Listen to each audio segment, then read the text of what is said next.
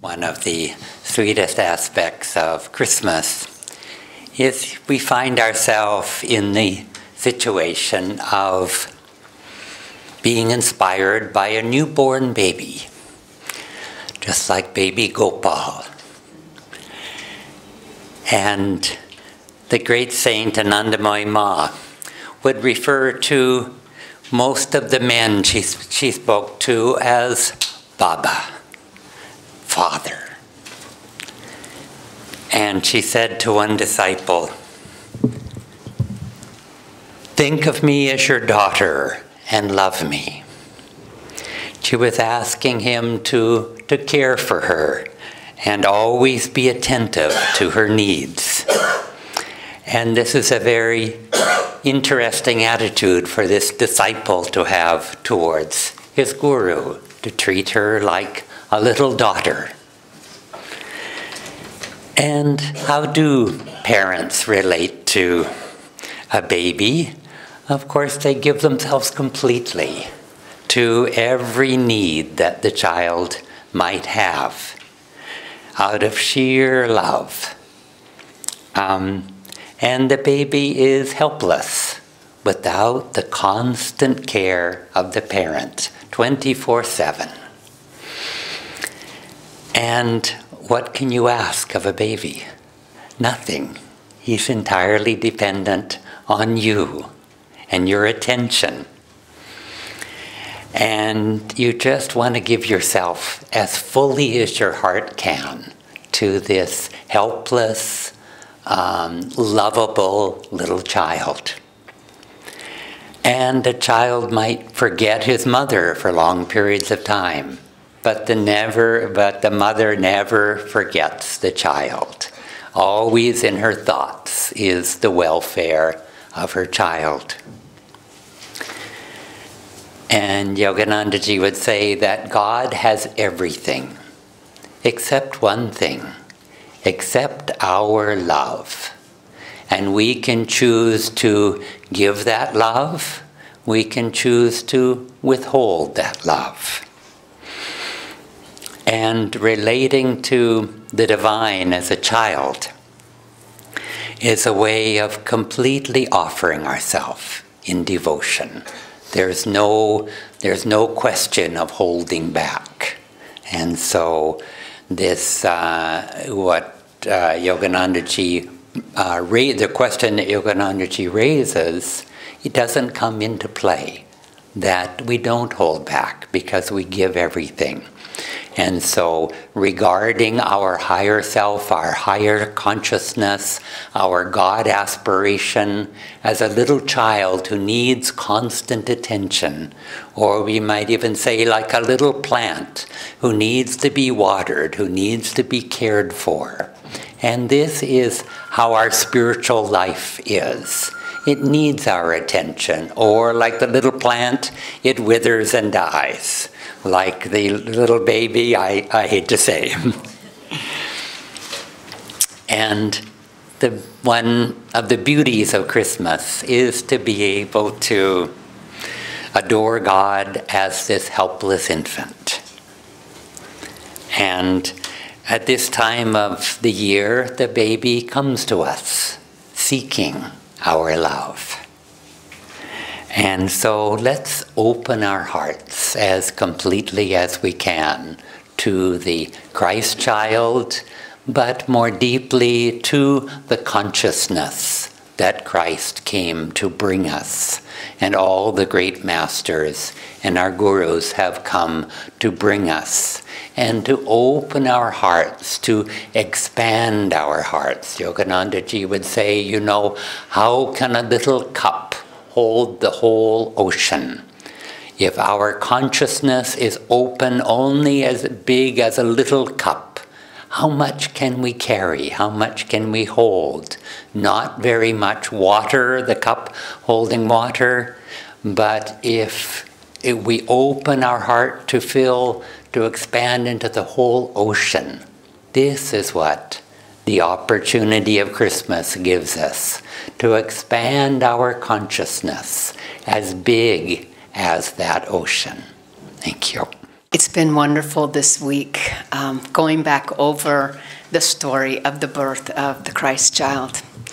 And uh, uh, we were reading a little bit amongst ourselves yesterday, and the quote from the Bible is that uh, the angel comes and tells Mary, you know, Mary says, How is it possible I'm going to have a holy child because I've never known a man? And he says, The Holy Ghost will come upon you and this this thing that this holy thing that will be produced will be the Son of God.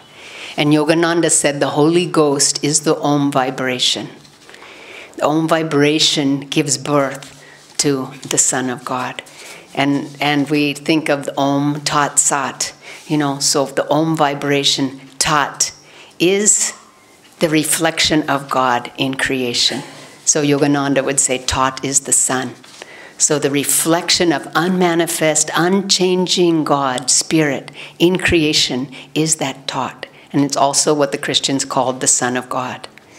The only begotten Son is that reflection of God that is in every atom of creation. And then you have Sat, unmanifest spirit. So Om, Tat, Sat. And then the Christian Trinity is Father, Son, and Holy Ghost. So Father is unmanifest spirit. Son is his reflection in creation. In every atom of creation is that spirit, is that stillness of God in every atom. But how do you get to that stillness in creation? You have to go through the through the mother. The mother produces it. The, the vibration of Om is what manifests creation. And in the center of every movement is stillness. There's stillness at the center of every moment. Like Hong-Sau, the center of the breath is stillness. So Yogananda teaches first thing, let's get to that stillness, get beyond creation. Yogananda tells us do not focus on the Om vibration, focus on the source of that vibration. What is the source? It's God, unmanifest spirit. So when we think of the Christ child being born within, it's born. Let's go to Divine Mother first. Let's focus on Om, on creation, the divine vibration. Tune into Om, and through that Divine Mother, we can find the sun, the stillness at the center. Just like you can think of many um, pieces of glass on the ground in the sun each one of those pieces of glass will reflect the sunlight. Sun, the, the light is in every piece of glass. So that's how, that's how the Father can be in every child. That's how Christ consciousness can be born if we're still enough to receive that light and reflect that light. When we think of the eight hour meditation we just had, the Christmas meditation we had last Sunday, it was so still. We were so blessed with stillness. And we need to take that time to be still in order to have that birth of God within us. Without that stillness, how can we receive? How can we receive that Christ child? How can we receive the Guru within us if we're just too busy and we're moving too much? When you think of um, uh, I don't know, I just forgot my train of thought there. But oh, when you think of when Christ was born in the stable, in the manger, who did the angels come and tell? The shepherds, what were they doing? They were outside being quiet, just maybe sitting in the field, watching over their sheep, but I bet you they weren't moving around very much. They were just quiet and still. And they could hear the voice saying, Christ is being born. Go see. And so I think that the eight hour meditation master started in 1930s. It's like be still. If you want to really experience the Christ consciousness, that stillness at the center of everything, you have to make an effort and let it be born inside. Because whatever we receive will change us. And if we can receive that stillness, that peace, unchanging peace, it will change us. What are we receiving? We are, our consciousness will be changed by anything we receive. So, especially at this time, be, be very aware of what we are receiving, what influences we're taking into ourselves, because it will change our consciousness. You know, be very aware.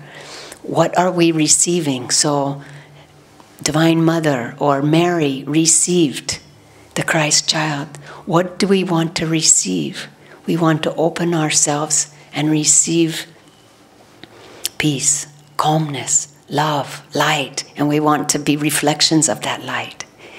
And so, at this time when we have prayer in our hearts, God, I want to merge with your stillness, with your unchanging peace with your ever expanding light, with your never ending joy. I want to merge with it. I want to receive it and merge with it.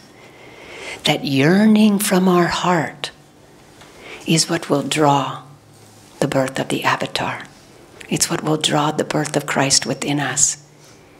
This is what, how Krishna incarnates. This is how the avatar descends to each of us, within us. And yet, as a people, as we yearn and pray for that peace, the avatar comes to the world. He comes not only within us, but he comes for the world also. It's like, let there be peace on earth, but let it begin with me. It has to be born in me first, and then it can be born in the world.